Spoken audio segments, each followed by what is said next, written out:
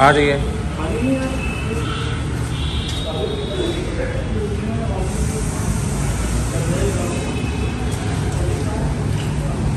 ठीक है। One more round एक राउंड और ले लीजिए।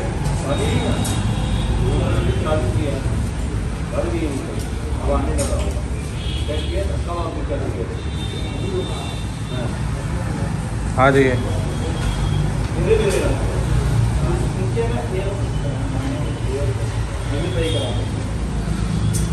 ठीक है। हाँ क्या नाम है आपका? सचिन निकम कहाँ से आए हैं? मुंबई से। मुंबई से। अभी कहाँ पे दर्द हो रहा? यहाँ पे यहाँ पे। दर्द हो रहा। नीचे घुटने में कहीं? तो मैं पहले बीच बीच में हो रहा था लेकिन अभी नहीं हो रहे। अभी यहाँ पे अच्छा अच्छा। लिम्पिंग तो है चाल में साफ़ दिख रहा। है। हाँ लिम्पिंग तो दिख रहा है चाल में। दिख रहे हैं ठीक है अभी इसको जरा पैर ऐसे उठाओ। इतना उठ गया। दूसरा पैर उठाओ।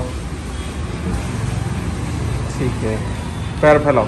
गैप देख कितना ठीक है कोई दर्द आ रहा है? इधर इधर दर्द हो रहा है। इधर तो नहीं दर्द हो रहा अंदर साइड में? इधर। और फैलाओ।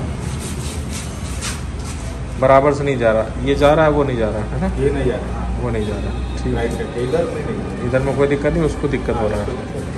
ठीक है कितना समय हो गया प्रॉब्लम का? एक्चुअली मैंने एम नवंबर में किया था। हाँ हाँ। सत्रह नवंबर को एम आर किया था। ठीक है। तभी डिटेक्ट हुआ मतलब तभी डिटेक्ट हुआ। हाँ। कोविड के बाद ही हुआ था? हाँ? कोविड कोविड हुआ था उसके बाद। कोविड कोविड दो हज़ार इक्कीस में हुआ था। दो हज़ार इक्कीस में। हाँ। अप्रैल। अच्छा अच्छा अच्छा। ठीक है। कितने दिन के लिए एडमिट रहे थे? दस दिन का। दस दिन भर्ती रहे थे। हाँ? ठीक है मेरा वाला एक्सरसाइज किया कुछ घर पे? हाँ अभी तो एक हफ़्ता से स्टार्ट किया मैंने। एक हफ़्ता से? एक हफ़्ता हो गया। कुछ फ़र्क दिखा कुछ फ़र्क दिखा उसके बाद? हाँ थोड़ा लग रहा है थोड़ा। लग रहा है लग रहा है। अभी आठ बजे रात को सोते समय दर्द होता है? हाँ रात को दर्द होता है। अच्छा चेयर से उठने बैठने में दर्द? जब भी उठता हूँ ना तभी ज़्यादा लिम्पिंग होता है। तभी ज़्यादा हाँ। ठीक है देखते हैं अब सेवन डेज़ में क्या चेंज होगा।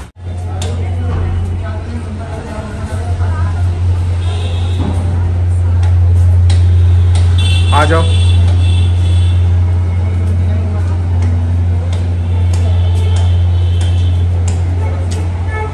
ठीक है वन मोर राउंड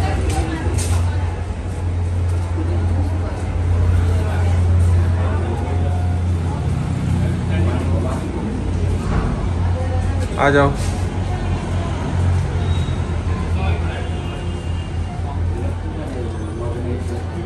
ठीक। तो सचिन जी ये आपकी पहली सीटिंग हो गई है ना? पुणे से आए आप। मैं मुंबई से। मुंबई से आए। कैसा रहा एक्सपीरियंस आपका? ठीक है सर। ठीक है? अच्छा, बढ़िया है? बढ़िया जब आए थे तो पेन कैसा था? पेन था और थोड़ा सा लिम्पिंग था। लिम्पिंग था हाँ, है ना? हाँ। तो आपने पुणे वाला कैंसिल करके यहाँ वाला कैंसिल करके मैंने यहाँ आया ठीक ठीक ठीक। अभी जरा पैर उठा के दिखाओ।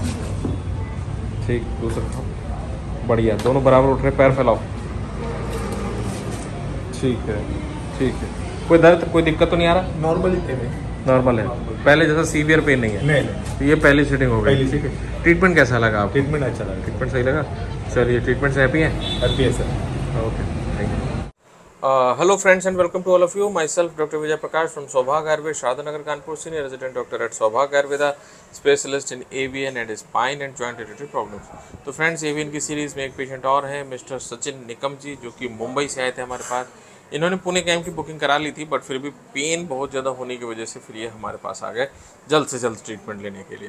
तो जानते हैं सबसे पहले सचिन निगम जी से कि क्या क्या प्रॉब्लम थी इनको और कैसे क्या हुआ। सब तो सबसे पहले हम इनसे नमस्कार करें नमस्कार सचिन जी। नमस्कार। बताइए शुरू से कैसे प्रॉब्लम हो रही एक्चुअली मेरा अ, पहले स्टार्टिंग में पेन हो रहा था मतलब थोड़ा सा आ, राइट साइड में। अ, बाद में मैंने डॉक्टर के पास गया। तो उन्होंने एक्सरे किया था। एक्सरे में कुछ डिटेक्ट नहीं हुआ।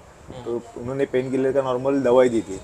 और उसके बाद दो हफ़्ता गया फिर बाद में नॉर्मल नहीं हो रहा था इसके लिए वापस मैं डॉक्टर के पास गया। तो उन्होंने मैं प्राइवेट डॉक्टर के पास गया। पहले मैं मेरे फैमिली डॉक्टर के पास था। बाद में मैं ऑर्थोपेडिक के पास गया। तो उन्होंने मेरे को एम आर आई करने की सलाह दी। एम आर आई कर लो। उसमें आपको पता चलेगा क्या का प्रॉब्लम है। तो एम आर आई करने के बाद पता चला कि उन्होंने बोला कि एवियन है आपको। और सेकंड और थर्ड स्टेज के आसपास है आपका। फिफ्टी फोर्टी परसेंट ऐसा ग्रेड में दिया था उन्होंने रिपोर्ट में। तो बाद में उन्होंने की सर्जरी करने को बोला था। सर्जरी का मैंने सलाह दिया था। तो बाद में मेरा फिर वो नवंबर में हुआ था मतलब जो एम आर था वो नवंबर में गया था कि मेरा फिर दो तीन महीना ऐसा ही निकल गया मतलब आ, क्या करूँ सोच में था मतलब करना है या नहीं करना सर्जरी उसके बाद आपका वीडियो मैंने यूट्यूब पे देखा तो पता चला फिर बाद में मैं पुणे के लिए रजिस्ट्रेशन भी किया था लेकिन मेरा पेन दिन ब दिन बढ़ते जा रहा था थोड़ा। इसके लिए मैंने पुणे का कैंसिल करके डायरेक्ट इधर आ गया कानपुर में आ गया। तो अभी सात दिन का ट्रीटमेंट लिया उसके बाद थोड़ा सा मतलब रिलीफ हो गया मतलब मेरा। पेन भी कम हो गया और लिंपिंग भी तो कम हो गया नॉर्मल हो गया थोड़ा। अच्छा ट्रीटमेंट हो गया चलने फिरने में बढ़िया हो गया। में बढ़िया हो गया। चलिए ठीक है। तो ये पहली सीटिंग के हिसाब से इनका रिस्पॉन्स है पहली सीटिंग में इनको इतना ही जनरली पेशेंट्स को मिलता है और एक विपत्ति जिसको कहते हैं कि आ गई थी एक तरह से पेन जो बढ़ गया था वो सब चीज़ों से जो एक्यूट पेन की कंडीशन होती है वो सब चीज़ें कवर हो जाती है। तो ठीक है तो सचिन जी और दूसरे जो एवियन के पेशेंट्स हैं आप उनको क्या सलाह देना चाहिए नहीं आपको जैसा मतलब समझे ऐसा मतलब कुछ दर्द हो रहा है तो पहले आप सर्जरी के अलावा पहले आप ये कर लो मतलब कोशिश कर लो इसमें ये हो जाएगा तो बेहतर है। हम्म, सर्जरी तो एक लास्ट ऑप्शन रह सकता है कुछ भी नहीं है फाइनल कुछ हो नहीं रहा है लेकिन सबसे पहले तो ये बेहत- बेहतरीन है मतलब आयुर्वेदिक ट्रीटमेंट बेहतरीन है बिना सर्जरी आप ठीक हो सकते हो। हम्म, हम्म, हम्म, तो ये पहले वो सलाह है मेरे की पहले आयुर्वेदिक ट्रीटमेंट ही ले लो हम्म, हम्म। नेचुरल ट्रीटमेंट नेचुरल ट्रीटमेंट है। कोई साइड इफ़ेक्ट हाँ नहीं है। उसका कुछ साइड इफ़ेक्ट भी नहीं है कुछ। उम्मीद यही करेंगे हाँ, कि आपको अभी कभी ऑपरेशन की ज़रूरत ना की पड़े। ज़रूरत ना पड़े। हर एक का केस अलग अलग होता है अलग अलग होता है ना? तो मगर हाँ ये कि रिस्पांस मिलेगा। रिस्पॉन्स कभी भी किसी भी वीडियो से अपने केस को कंपेयर मत करना। हाँ। मगर एक रिस्पांस मिलता है एक जो मुसीबत है पेन की उससे पेन आप हाँ बच सकते पेन हो। पेन रिलीफ होते हैं। पेन रिलीफ हाँ। अच्छे होता है हम्म। और पेन बहुत इंपॉर्टेंट है। पेन बहुत मायने रखता है ज़िंदगी में। अगर कई बार ऐसा भी होता है कि ऑपरेशन हो जाने के बाद भी पेन हो रहा है पेन हो रहा तो है फिर ऑपरेशन से कोई मतलब नहीं है। पेन सबसे ज़्यादा इम्पोर्टेंट है। और अपने इस थेरेपी से कम से कम ग्रेड बढ़ना रुक जाता हम्म, है वहीं स्टॉप हो जाता है। एक स्टेप नीचे आ जाता है। इतना हो जाता है और इतनी ही उम्मीद करनी भी चाहिए और हाँ। इतना ही ठीक भी है। तो ठीक है फ्रेंड्स हमारे इस वीडियो को लाइक कीजिए शेयर कीजिए और सब्सक्राइब ज़रूर कर लीजिए हमारे चैनल को सो दैट की लेटेस्ट इन्फॉर्मेशन एंड नोटिफिकेशन मिले। तब तक के लिए नमस्कार।